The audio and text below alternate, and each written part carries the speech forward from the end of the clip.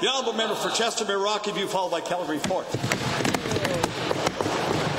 Really enjoyed the uh, last performance, Mr. Speaker, I must say. Uh, contract talks, unfortunately, Mr. Speaker, we know are not going that well with Alberta teachers. And the issue isn't about money, it's about workload. Teachers are being snowed under right now in a, in a blizzard of paperwork. Does the Minister of Education recognize that this is a serious problem for today's teachers? And is he willing to help reduce the mountain of paperwork and let teachers spend time doing what they do best, and that is teaching our children? Uh, Mr. Speaker, I appreciate the question, and yes, uh, we need to make sure that we have the world's best in front of our children, and we need to make sure that they're doing the high-value tasks and they're focusing those, those skills on the things that, that are going to help our kids succeed. So we absolutely want to have uh, some discussions and dialogue, and we've got some strategies to move forward on addressing some of the workload issues with teachers.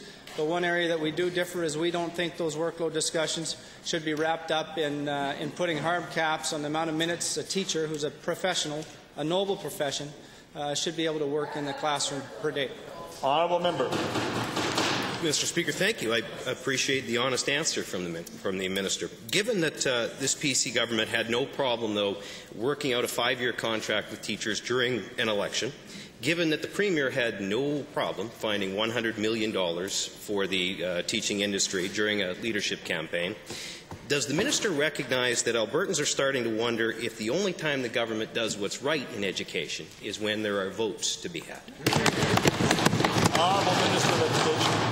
Mr. Speaker, I think we can all take, take exception to that. Uh, obviously, we, are doing what's right in education today. The Premier made some uh, great promises over the last year and has delivered on them. She promised us to reinstate $107 million in the education system. She did that right away.